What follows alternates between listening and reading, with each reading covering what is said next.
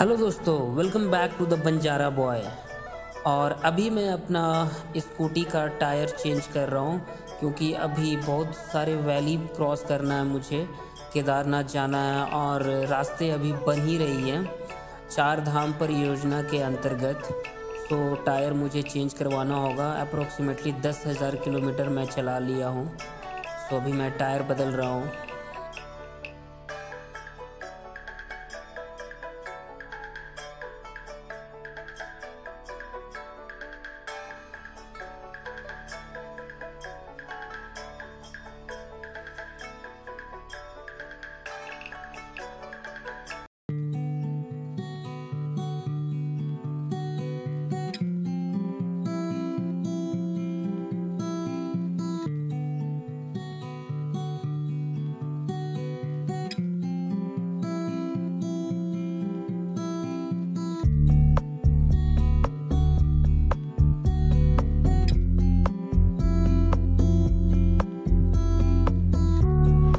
उत्तराखंड का मतलब ही है माउंटेन ओनली माउंटेन सिर्फ़ माउंटेन ही माउंटेन मिलेगा दोस्तों. इतने सारे वैली इतने सारे रिवर और अंडर कंस्ट्रक्शन सारे चल ही रहे थे मोस्टली हर जगह. और इन रास्तों पे गाड़ी चलाना वो भी टू व्हीलर और साथ ही मेरा ये जो स्कूटी बहुत साथ दिया मुझे. फाइनली मैं कैसे कैसे पहुँचा?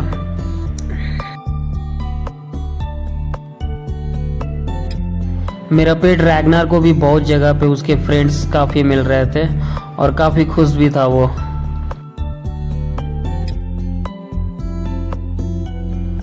उत्तराखंड में आपको छोटे छोटे झरने काफ़ी जगह मिलेंगे और घोड़े और खच्चर का तो कहना ही नहीं है।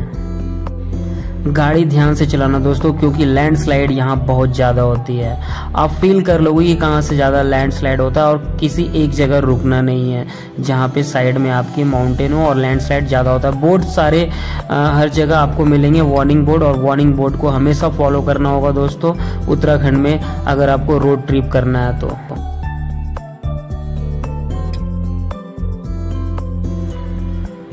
एग्ज़ाम्पल आप देख सकते हो बहुत सारी जगह ये लैंडस्लाइड कैसे होते और ये एक बड़ा सा पत्थर अटका हुआ था तो उसे नीचे गिराया गया।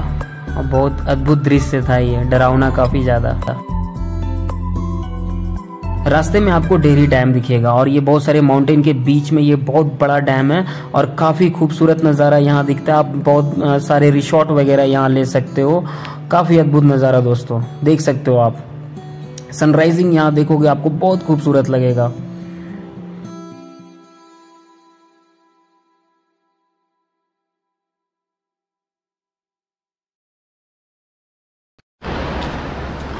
केदारनाथ की ओर निकला था। बट रास्ता ब्लॉक हो गया एक चट्टान गिर गया था। सो अभी रिटर्निंग के दौरान राफ्टिंग प्लेस देखा मैंने तो मैं सोचा राफ्टिंग कर लेता हूँ। मैं अपने डॉगी को गाड़ी में भेज दिया बेस पॉइंट पे, और मैं अभी राफ्टिंग के लिए निकला हूँ। और ये ऋषिकेश की तरफ़ जाएगा ये। इंडिया के अगर साउथ से आप आते हो दोस्तों, उत्तराखंड में प्रवेश करते हो तो पहला द्वार होता है हरिद्वार हरि जी का दर्शन करने के बाद आप ऋषिकेश पधारो और यहाँ पे आप गंगा मैया का दर्शन कर सकते हो। बेहद साफ़ पानी मिलेगा आपको। सारे माउंटेन के बीच में आप राफ्टिंग का भी मज़े उठा सकते हो। मात्र हज़ार रुपया में ढाई घंटे आप सफ़र करो। राफ्टिंग में बहुत ज़्यादा सेफ़ रहेगा दोस्तों। गाइड भी रहेगा लाइफ जैकेट रहेगी। डूबोगे नहीं आप।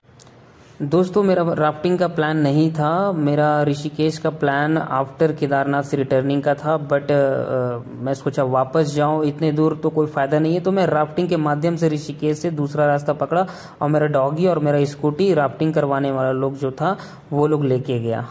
और पता नहीं देखो क्या होता है आफ्टर राफ्टिंग मेरा डॉगी का।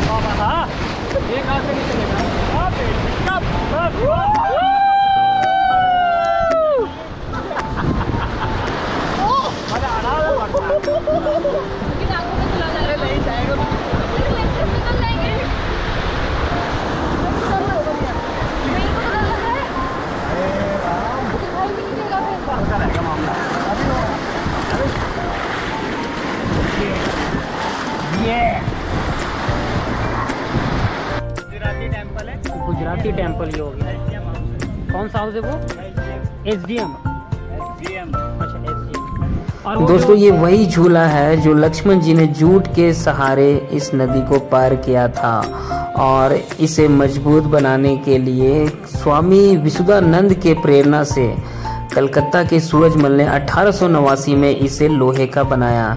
बट अफसोस की बात है 1924 के बाढ़ में भी ये बह गया। फिर उसके बाद दोबारा मज़बूत ये झूला बनाया गया दोस्तों।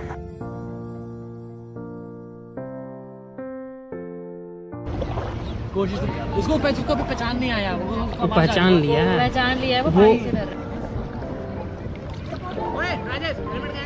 मैं अपनी रैगनार को छोड़ के गया था करीबन दो घंटा हो गया। और अभी मैं पहुँचा हूँ इसके पास। और ये आई थिंक बहुत ज़्यादा अपसेट है अभी। आ बाबू कम आ, आ, come come come sorry sorry sorry sorry sorry okay sorry sorry sorry sorry मेरा रैगनार मुझे कभी नहीं छोड़ता और अफसोस की बात है राफ्टिंग के दौरान मैं ऋषिकेश में उसे छोड़ दिया था बट अब मैं उसे लेके जा रहा हूँ केदारनाथ। सो दोस्तों, आप प्लीज़ इस वीडियो को पूरा देखना। एक ऐसा पहला पेड जर्मन सेफर्ड जिसे मैंने केदारनाथ ट्रैकिंग करवाया। और दोस्तों, आप देख सकते हो। दोस्तों, केदारनाथ आने के लिए आपको सबसे पहले सोन प्रयाग आना पड़ेगा और सोन प्रयाग से आपको गौरी कुंड का बाई टैक्सी आपको मिल जाएगी। तीस रुपये चार्ज लेगा दोस्तों पर हेड का और गौरी कुंड से मैं अब चला ट्रैकिंग की ओर केदारनाथ।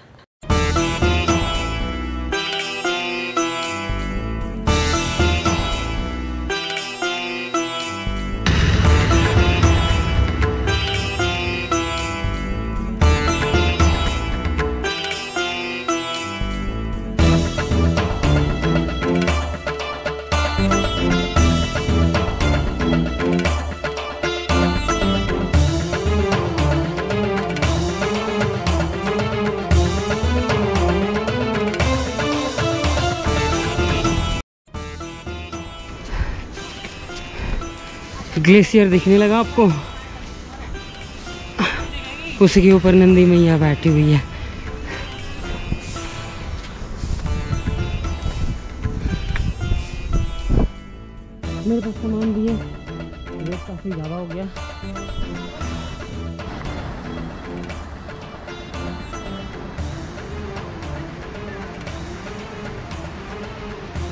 ये जो नदी देख रहे हो आप, ये मंदाकिनी नदी है। बहुत ठंडा पानी है दोस्तों।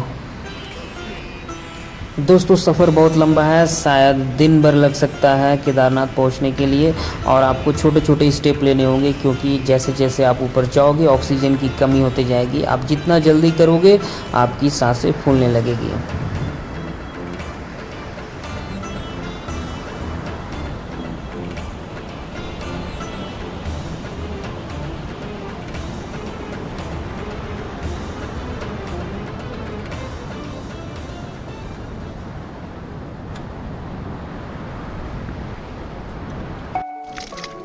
वाटर बोतल लेने का ज़रूरत नहीं है। पानी आपको हर 200-300 मीटर पे झरने के माध्यम से, नल के माध्यम से आपको मिलेगा। और बहुत मीठा पानी दोस्तों, मंदाकिनी का, रिवर का पानी आपको मिलेगा।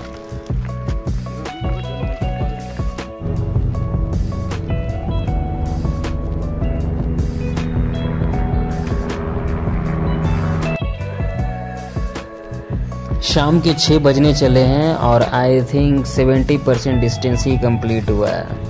एक्चुअली मैं दोस्तों काफ़ी ज़्यादा रेस्ट करते हुए जा रहा, क्योंकि मेरे साथ बहुत सारा बैग है।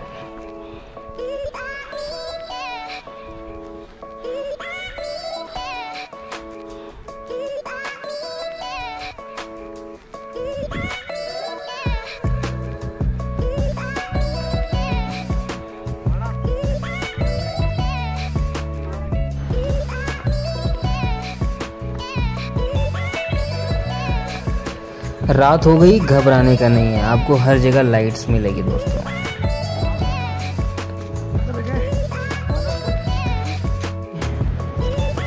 फाइनली केदारनाथ पहुँच गया हूँ और अभी जो समय हुआ है, करीबन नौ बजे हैं अभी। नौ बज गया और मैं केदारनाथ पहुँच गया। काफ़ी थक गया हूँ। सुबह से कंटिन्यूस चल ही रहा हूँ मैं। और यहाँ की स्लोप बहुत ज़्यादा है। अभी मैं टेंट लगाने का जगह ढूंढ रहा हूँ। इन पहाड़ों के बीच मैं टेंट लगाया हूँ, आप देख सकते हो। और सूर्य की रोशनी मेरी आँखों पे पड़ रही है। और ये पीछे का नज़ारा। यहीं केदारनाथ मंदिर स्थित है। मैं भी आप लोगों को केदारनाथ मंदिर दिखाऊँगा। जो भगवान शंकर गोदावरी नदी के पवित्र तट पर स्थित स्वच्छ श्रद्वादी पर्वत के शिखर पर निवास करते हैं, जिनके दर्शन से शीघ्र सारे पाप नष्ट हो जाते हैं। उन्हीं त्र्यंबकेश्वर भगवान की मैं स्तुति करता हूँ। जय शिव शंकर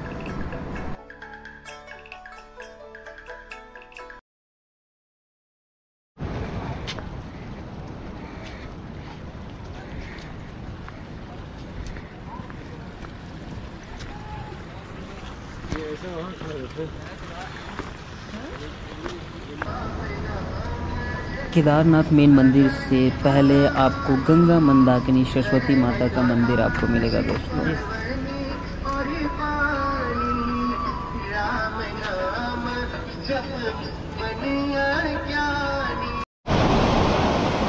मंदाकिनी नदी में स्नान करना ना भूले दोस्तों, स्नान करके ही पूजा करें। दोस्तों हिमालय पर्वत की गोद में केदारनाथ मंदिर 12 ज्योतिर्लिंग में सम्मिलित होने के साथ चार धाम और पंच केदार में से भी एक है। इसका निर्माण पांडव वंश के जन्म जय ने कराया था। यहाँ स्थित स्वयं भूमि शिवलिंग अति प्राचीन है दोस्तों। आदि शंकराचार्य ने इस मंदिर का जीर्णोद्धार करवाया। 2013 के दौरान भारत के उत्तराखंड और हिमाचल प्रदेश राज्यों में अचानक आई बाढ़ और भूस्खलन के कारण केदारनाथ सबसे अधिक प्रभावित क्षेत्र रहा। दोस्तों, मंदिर की दीवारें गिर गई और बाढ़ में बह गई। इस ऐतिहासिक मंदिर का मुख्य हिस्सा और सदियों पुराना गुंबद सुरक्षित रहे, लेकिन मंदिर का प्रवेश द्वार और उसके आसपास का इलाका पूरी तरह तबाह हो गया। दोस्तों, अगर आप उत्तराखंड में आए हो तो दो नाथ, एक बद्रीनाथ और एक केदारनाथ, ये बहुत ही प्रमुख तीर्थ स्थल है दोस्तों, और दोनों का दर्शन करना बहुत ज़रूरी है। दोनों को दर्शनों का बड़ा ही महत्व है दोस्तों। केदारनाथ के संबंध में लिखा है कि जो व्यक्ति केदारनाथ के दर्शन किए बिना बद्रीनाथ की यात्रा करता है, उसकी यात्रा निष्फल जाती है, और केदारनाथ सहित नर नारायण मूर्ति के दर्शन का फल समस्त पापों के नाश पूर्वक जीवन मुक्ति की प्राप्ति बतलाया गया है। ॐ नमो शिवरुद्राय ॐ नमो स्थितिकण्ठाय ॐ नमो हरणागाभरणाय प्रणवाय ढम ढम ढमरुकनादानन्दाय ॐ नमो निठलक्षाय ॐ नमो भस्माङ्गाय ॐ नमो हिमशैलाभरणाय प्रमदाय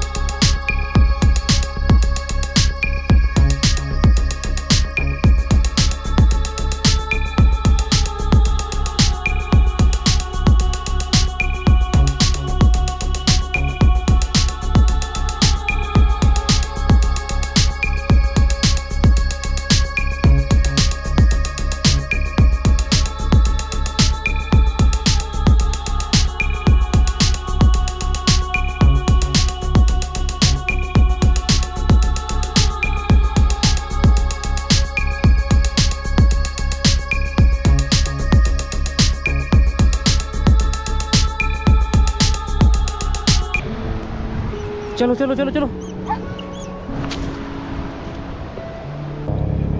चढ़ना जितना ही मुश्किल, उतरना उतना ही ज़्यादा आसान लग रहा है दोस्तों।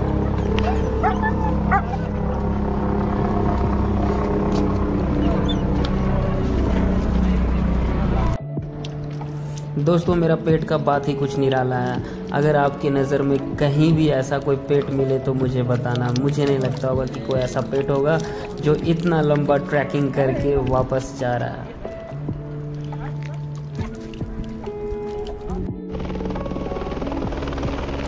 अगर आपको हेलीकॉप्टर से आना है दोस्तों तो तेईस सौ रुपया प्राइस है आने का और जाने का टोटल मिला करके फाइव थाउज़ेंड आपको हेलीकॉप्टर का प्राइस पड़ जाएगा।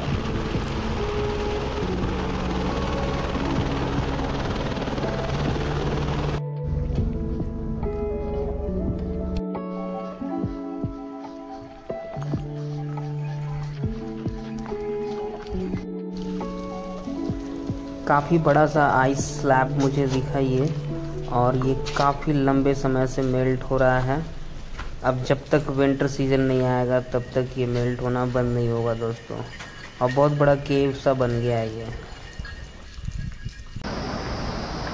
बेचारा रैगनर वापस आने के बाद अब रैगनर का हालत देख सकते हो। बहुत ज़्यादा पेन हो रहा है उसके पैरों में और मेरे पैरों में भी।